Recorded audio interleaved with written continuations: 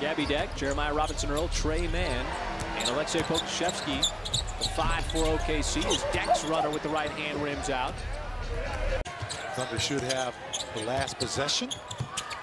Campazzo outside but Denver just has not been able to find anything from the outside tonight.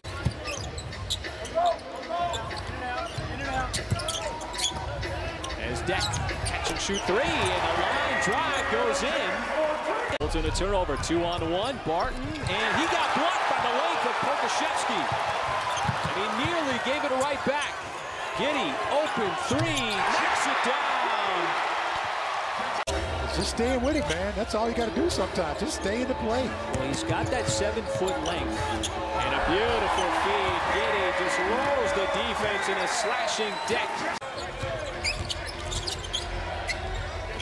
Now Deck steps into the passing lane to knock it free. And, and how about all the white shirts that was around him as soon as that pass got released? Oh, what a move. A little stutter.